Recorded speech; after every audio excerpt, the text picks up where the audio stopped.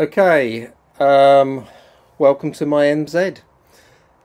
Um, so this is the MZ I purchased a couple of weeks ago.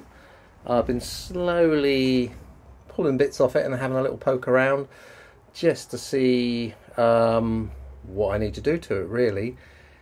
It sort of it runs, it ticks over now. I've adjusted the carburettor, got the plug sort of like a you know a brownie colour.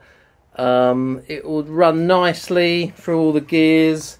The only problem I had was it wouldn't um, do maximum revs in top gear. So I believe it was a mixture of crappy fuel, sediment.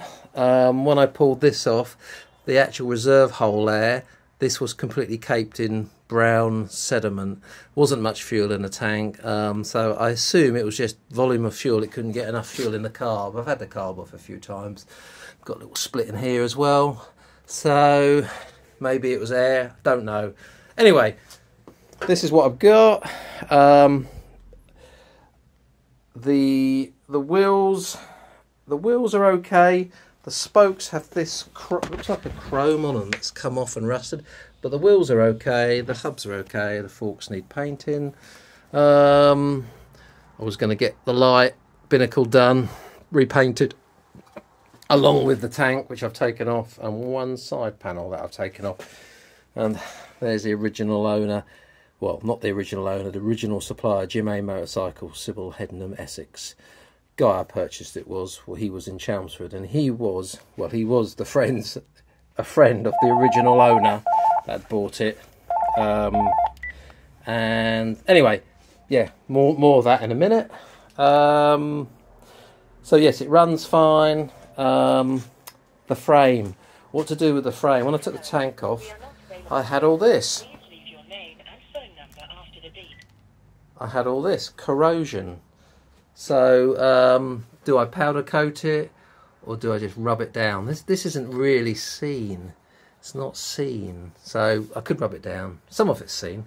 Swinging arm there is in better better nick. Um, anyway, um, side stand, side stand, centre stand, rear foot pegs. I broke the indicator. Um, six volt electric still. Um, come around this side. I've had a little polish of the casings, but I think I need to restart that with a, a finer grit of wet and dry emery to do it. Had a little clean of the cylinder head. Um, original mileage. I put about nine miles on it, test riding it the other day. Has a quirky key thing. That comes down like that, and then the key goes in and forms part of the light switch, believe it or not um, which is really weird. Um, I've put it in correct. There you go. Um, and then obviously you'd use the steering lock to lock the bike, I guess. Um, so yeah, that that's pretty much where I am with it. Um, any ideas which way I should go? I was going to just repaint all the panels new, repaint the mudguards, respoke the wheels, clean and polish the odd little bit here. Frame I'm not sure about. Um, here's the tank. The tank is pretty good. It's got a little little dent here, there. But apart from that, it's pretty smooth. These bits are covered up with these glorious chromy panel side covers with grippy knee bits. Um, you can't see it on this one. You can see it there. It's kind of corrosion on it, and I couldn't get it out, so I've got some new ones of them coming. Seat is in superb condition, and it has this really cool little bit there, cubby hole, which has the original toolkit. Um, so that's the bike. I took, I did take the exhaust off because I did. Somebody said it could be the exhaust is coked up. That's why it's not holding maximum revs. So I did take the exhaust off, which I have here, and I decoked it. I put a hot air gun one end, and then I used a blowtorch to heat it up. Hence the the bluey pattern on it smoked like a big fat cigar to smoke for like 40 minutes. When it stopped smoking, I then plugged the end. I filled it with caustic soda, got nice and hot, 45, 50 degrees. Got rid of that, done it again, and then where that tape is, it then sprung a leak.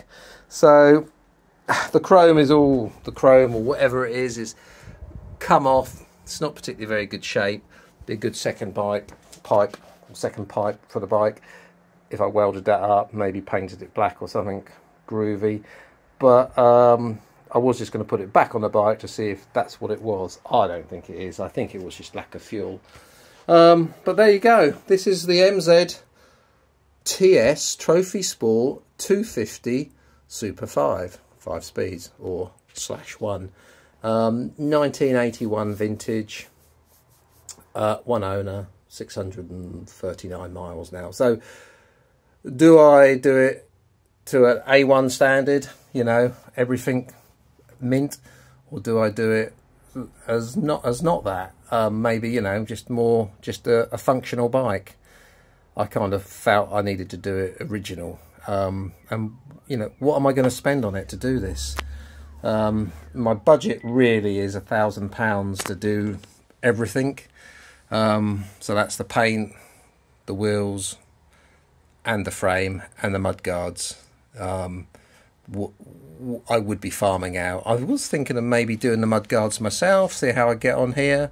Um, and if I get a good result with them, maybe have a go at everything else, tank wise, bodywork wise, myself. So, to my 22 subscribers, if you're interested in the MZ, tell me what your thoughts are, what you what route you think I should go down.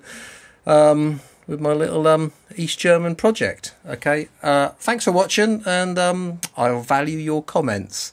See you in the next one. Bye.